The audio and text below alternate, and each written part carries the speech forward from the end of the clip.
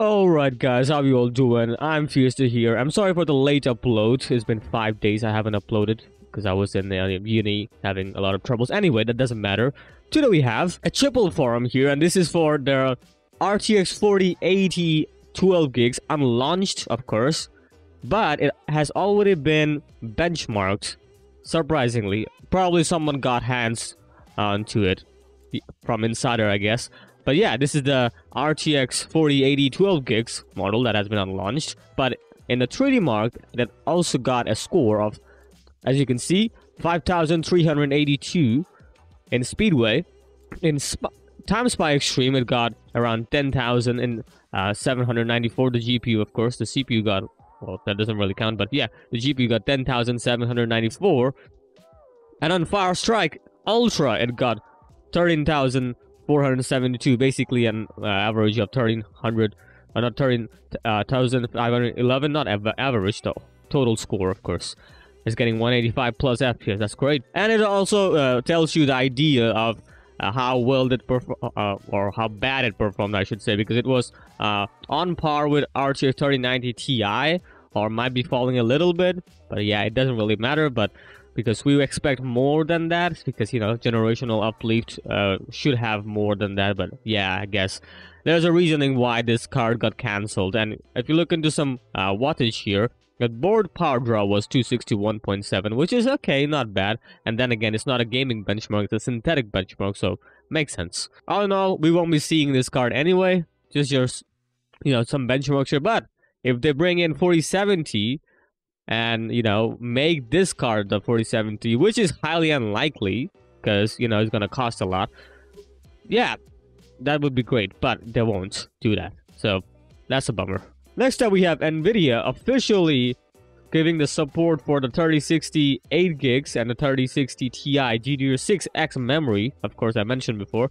And this is the their statement to give more choices to gamers and creators we're introducing a couple of additional options from our network of graphics cards partners worldwide starting in november basically they're gonna be launching this november or they have already launched it but i don't know why they just uh, stated November because I've seen other board partners already bringing in the 3060 GDDR6X based uh, uh, GPU here. So yeah. Anyway, so they're bringing in the, of course, the GDDR6X memory with the 3060 Ti and the 8 gigs G6.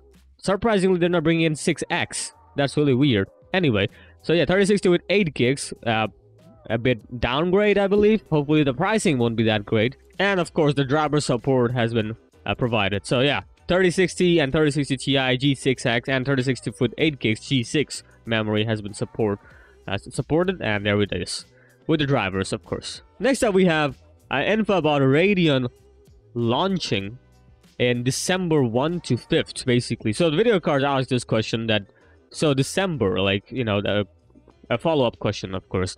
And Greymon55, he's replying, it should be sometime between December 1 to 5. So basically, this is the time for AMD Radeon uh, RDNA 3 graphics cards to be, you know, available for the market. And hopefully they will, they will be great. Yeah, that's interesting. December 1 to 5, or basically from December 5th, I guess. I don't know. Could be. But yeah, we'll see. And next up, we have a little bit of interesting thing. A little bit of interesting thing. That's really weird way to say it. But anyway, AMD has been uh, added support for Vulkan 1.3. And that's right. That's the AMD RDNA 3 GPUs will be coming with that. As you can see here, the product family, it mentions AMD RDNA 3 S GPUs or discrete GPUs, whatever you want to call it. And yes, it's going to be supporting Vulkan 1.3, which is great. The kernel level, uh, kernel has been uh, uploaded, I guess, for the OS 1.3. Hopefully it's going to be good. Also, the ray tracing of Vulkan would be also interesting to look at because they're going to be improving that a lot, I believe. And lastly, we have a big news here coming from Igor's lab, and he has found the reasoning why the uh, well uh, RTX 4090 12 VHPR PWR adapters are melting. We know the answer now. If you want to look into the full uh, findings of Igor, you can look into this. The, he has everything, also including a video right here. Right here, if you want to watch it, link will be in the description. You should go watch it. Of course, it's in Germany. I can't really understand it, but I will tell you what the sum summary is, and he already provided that. So the problem, his, uh, findings found that it's not the 12 VHPWR connectors or even the unplugging and plugging. It's basically the uh, inferior quality that's he mentioned right here. The current trigger is NVIDIA's own adapter to 4 times 8 pin in accessories whose inferior quality can lead to failures and has already caused, we've already seen that, that it's causing a lot of problems, like it's literally melting, which is not great, of course. He also mentioned that bending or kinking, kinking, okay, the wires directly at the connector of the adapter puts too much pressure on the solder joints, basically breaking that. So the quality is inferior, and people, you know, they are bending it obviously because you're putting it inside, and well, it's gonna bend anyway. So if they're bending, you need to have something, uh, you know, a, a, superior quality for that, right? And it seems like it's not. That's why they're literally breaking apart. He also mentioned that the inner bridge between the pins is too thin. Again, they're cheaping out this uh, uh, connector here, which is I don't know why they're doing that. So, because look at, looking at, at this, as you can see, it's too thin, resulting cross section to compensate the current flow on the two or three instead of four connected 12 volt lanes.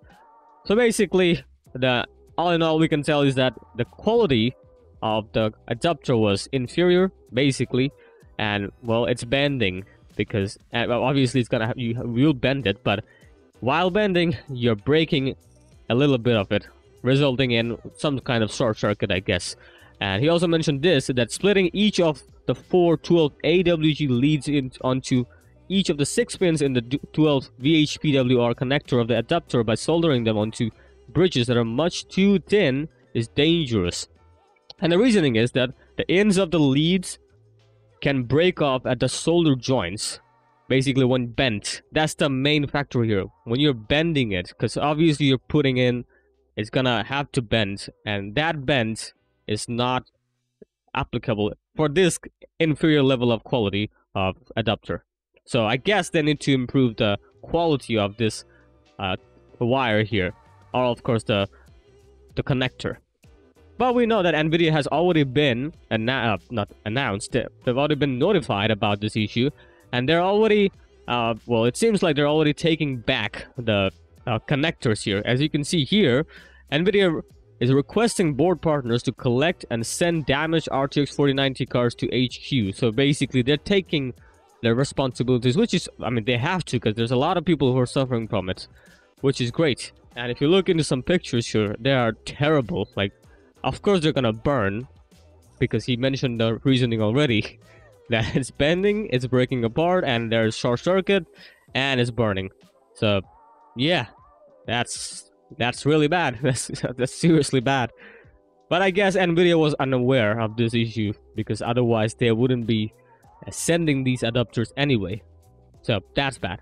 But also, not to mention one more thing right here, is that standard compliant power supply cables from brand manufacturers are not affected. So basically, Be Quiet or whatever uh, company, Corsair, uh, any other, uh, you know, uh, power supply that exists, they're not getting affected by it because they're not cheaping out the quality. What's getting cheaped out is the NVIDIA's own uh, as you can see that mentioned here that they're, NVIDIA's own adapter, which is the problem. And again, I think a lot of even J2 uh, tens, uh, wait, what? J2 Sense, what am I talking about? Have also made a lot, couple of videos about it, and he mentioned that not to use that adapter because you know it, it's gonna lead in basically a lot of problems. He obviously he didn't, he wasn't aware, but later on, he was right because, as we're seeing, uh, people are suffering from it. Because they're literally burning and melting. So what do you think? Do you think Nvidia messed up? Well, yeah, basically. And yeah, like, I, I have to say, like, this is this situation kind of bad for those who owned 4090. Because obviously you're paying so much and now they're getting they're getting burned GPU just because of an adapter which sucks which really sucks because one adapter is ruining the you know gpus like that that's really messed up so yeah uh, you should you shouldn't use adapters anyway because you know adapters looks weird because you know four two uh, two pins coming out with four, uh, you know that that looks weird as hell. It's better to use one single cable coming with the power supply, which again are they're not getting affected because they're better, superior quality. Anyway, have a good day and of course like, share, and subscribe. See you later.